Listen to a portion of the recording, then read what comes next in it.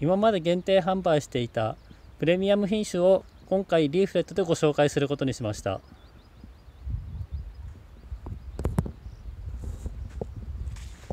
まずはゼラニウムホワイトトゥーローズです。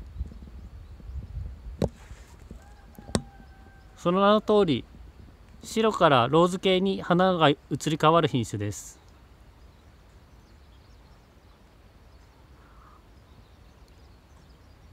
とても綺麗な花色が魅力となっています。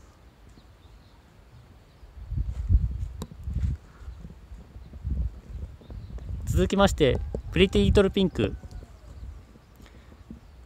カリオペと同じハイブリッドゼラニウムです。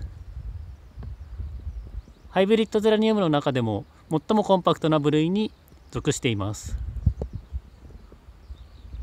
プリティリトルピンクの特徴は花色が可愛いだけでなく花が多く上がる暑さに強いという特徴があります。花芽が次々に上がっていることがご覧いただけるのではないかと思います。成田シードセンターがある多古町では夏の間ずっと咲き続けることができました。驚きの品種です。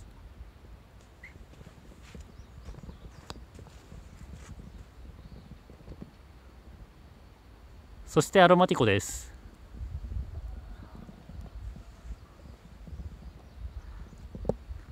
皆さんご存知の品種と思いますが今回改めて皆さんにご紹介することにしました